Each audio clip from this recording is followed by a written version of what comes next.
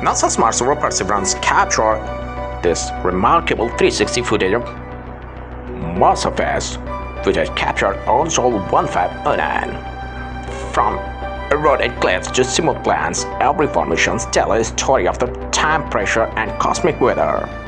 Once Mars was filled with water as rivers and ocean, but now it's just desert. Perseverance is searching evidences of life on Mars from Martian rocks, and scientists called it one of the clearest look at Martian terrain ever recorded. The footage feels immersive, as though you are standing on Mars. Each discovery brings us one step closer to understanding Mars' mysterious and beautiful past. If you like this video hit thumbs up and don't forget to share to your friends. Thanks for watching.